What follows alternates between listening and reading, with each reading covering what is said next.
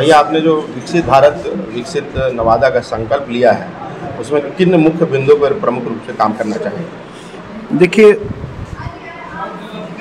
नवादा और शेखपुरा आकांक्षी जिला है।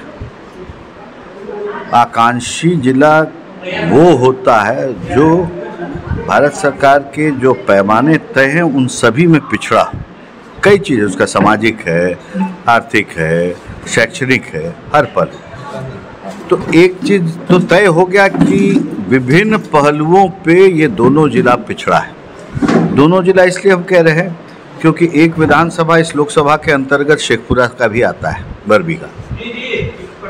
संजोग देखिए कि बिहार के प्रथम मुख्यमंत्री का ये जन्मभूमि भी है। जो व्यक्ति बिहार को आर्थिक दृष्टिकोण से देश का चौथा राज्य बना दिया था उसके जन्मस्थली का यह हाल है कि अभी आकांक्षी में आज भी चल रहा है।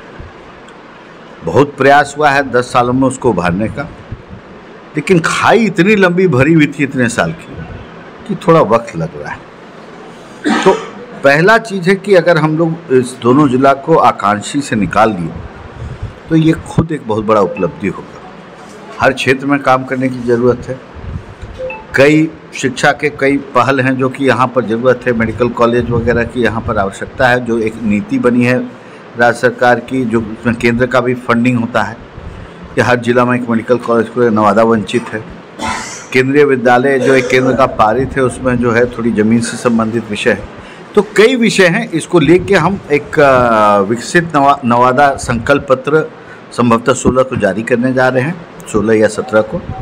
और वो आप लोग को फिर विस्तृत रूप से बताएँगे। बिहारी न्यूज़ के श्रोताओं से कुछ अपील करना चाहेंगे? ये देखिए 19 तारीख को जो चुनाव होने जा रहा है मतदान होने वाला है ये दो पहलू के लिए महत्वपूर्ण चुनाव। हमारा देश एक ऐसे मोड़ पे खड़ा है कि ये वो उसको भी एक नई उछाल लेना है। और वो उछाल है जो लेगा और उस उछाल के बाद जब मजबूती आएगी तो एक हज़ार साल के लिए भारत सुरक्षित होगा।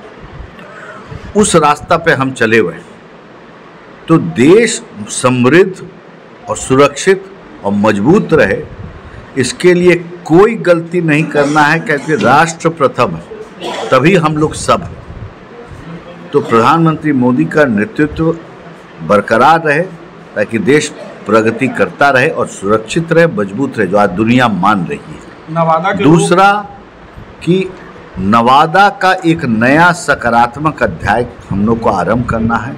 एक नए नवादा का निर्माण करना है और विकसित भारत के अंतर्गत विकसित नवादा को समाहित करना है। कैसे सपोर्ट मिल रहा है बहुत अद्भुत है बहुत ही अद्भुत है। सभी वर्ग पिछड़ा दलित महिला नौजवान एक स्वर में जो है ये लोग एकदम मन बनाए हुए हैं और ऐतिहासिक परिणाम प्रधानमंत्री मोदी